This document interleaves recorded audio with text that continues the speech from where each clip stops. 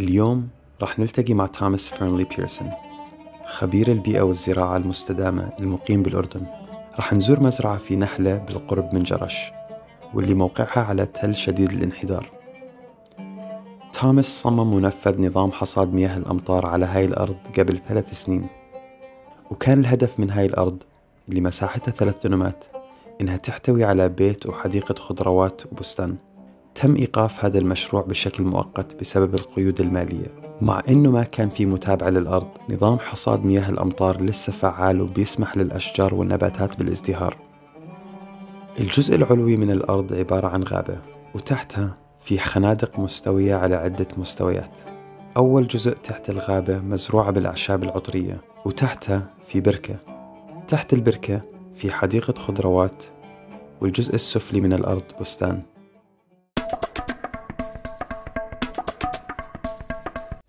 طيب تامس اشرح لي شو عم بشوف هون.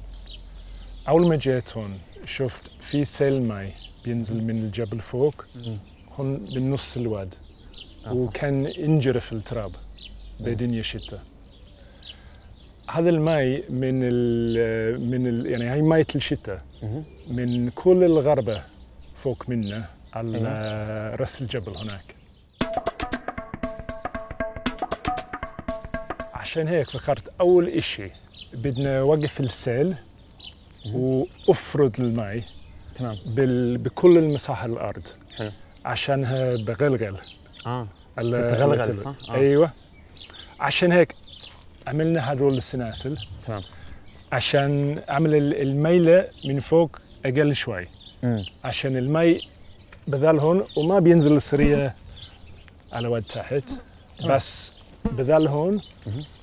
عشان يزيد الرطوبة الترابية بكل الأرض.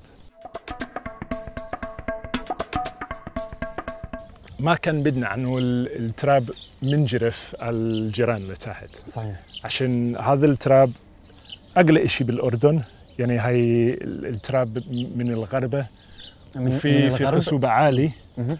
بس ال الارتفاع بين 10 ل 5 سنتي بس يعني بذلش.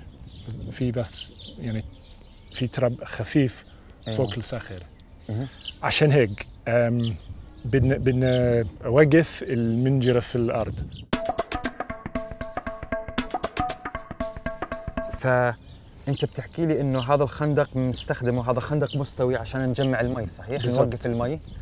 بس آه والله فهمت منك إيش حلو يعني ال- التلة هاي أهم من الخندق نفسه. بالضبط. فلازم التلة هاي تكون قوية. عشان المي تتجمع هون بالشتاء صح؟ أيوه. وتضلها بمحلها. أيوه. ما بظل هون. آه. بينزل جوفي. حلو. بكون بكون هون بكون ماي ممكن ساعتين يوم. مهم. مش أكثر خلاص بعدين بت- بتتخزن جوا. بالضبط. حلو. بكل. ال- بكل التراب بال- بال- بالمزرعة كامل. الثانية بس كله حجار. بيختلف هذا لا هي آه، آه، بركة السكية. يعني هي مم. ماية الشتويه حلو. بس من فوق. المهم بال- بالندام ال- تزييم الماء الشتويه مهم. بدنا تعبي التراب على اخر ماشي. هدول ال ال ال الخندق المستوي اسمه سويل بالإنجليزي. مهم.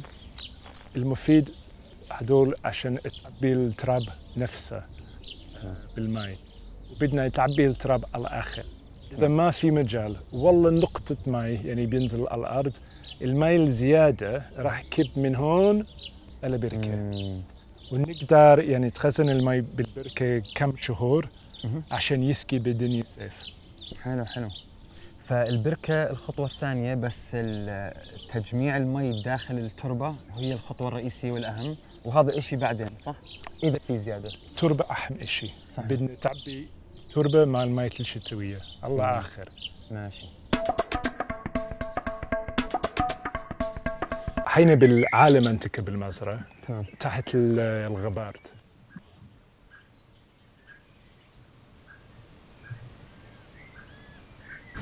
شايف هاي ال- ال- الواد الصغير. هذا وين بيجي السيل الماء بدنيا شتاء تمام. يعني بيجي ماي سري من فوق من كل المنطقة اللي فوق من رأس جبل ومن الغربة. هون بنفس الواد يعني أعلى منا كله بينزل من هون. الماء السيل بيجي من فوق. تمام. بدها بس خمس دقايق عشان بينزل بالكل طول المزرعة وترك المزرعة لتحت. والله. آه. بس- سريع جدا يعني آه. صح يعني بضل آه. يعني بروح هيك سريع. صح. وبضل هون بال بال بالنفس السيل يعني ما بيطلع هناك ولا بيطلع هناك مم. كل. كل الماء بينزل ال- الأوطى منطقة وبينزل لتحت هيك طيب. سريع بينزل آه. yeah آه يعني صعب اعمل استفيدها عشان ب... هي معنا بس خمس صح بس عشان هيك السناسل. والخندق المستوي. يعني اسمه swale بالإنجليزي أيوه والبركه كل هذول عشان آه، خزن ال- الماء الشتوية.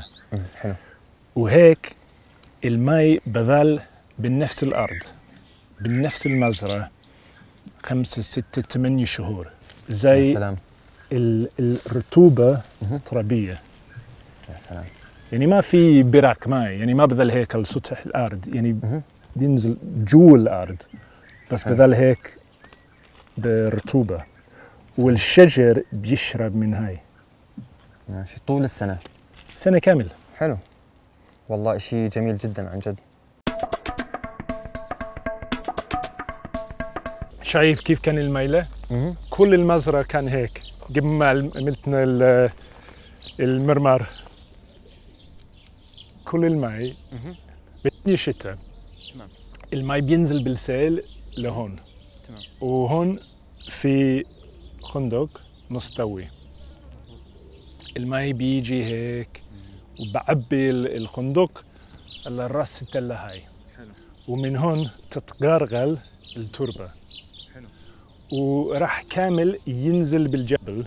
بس هيك ما بدها خمس دقايق بدها خمس شهور عشان توصل الحدود لتحت عشان هي بينزل من جوفي مش الوجه الأرض يعني مش السطح الأرض. بعد ما تتغلغل الماء أيوة. بالمنطقة العالي الماء الزيادة بيجي هون وهذا السد الرئيسي بالمزرعة هاي عشان تأبي البركة. بس هاي مرمر طريق مزبوط بس برضو هاي باب الماء ال- الباب الماء هاي. خمسة سنتي أوطى من الثم البركة هناك. أيوه من. ثم أو الحفة آه. آه الحفر آه. عشان هيك بدني شتاء كل الماء بيجي من فوق. أيوه.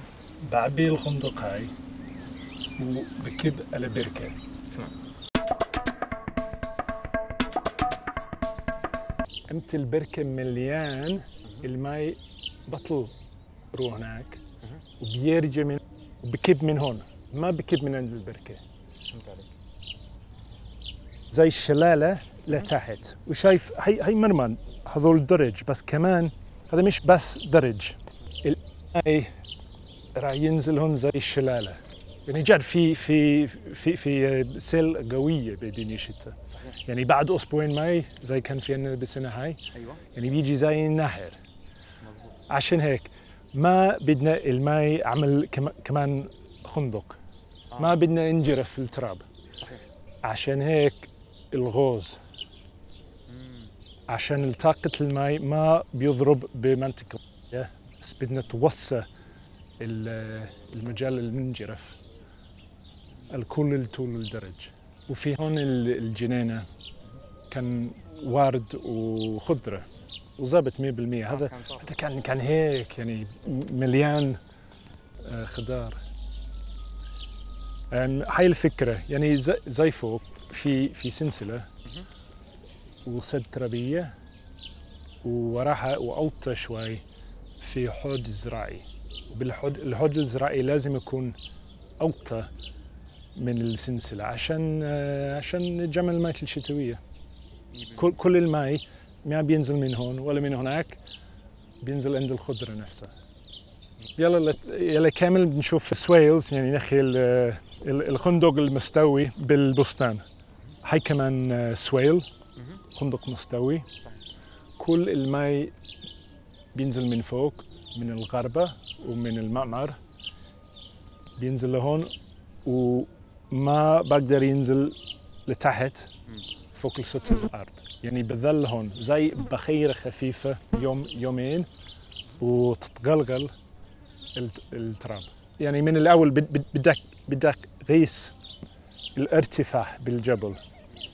عشان عشان أعرف وين تحفر ال- ال- الخندق. يعني الخندق نفسه مش مهم. أهم شيء ال- التلة. هي زي زي السد.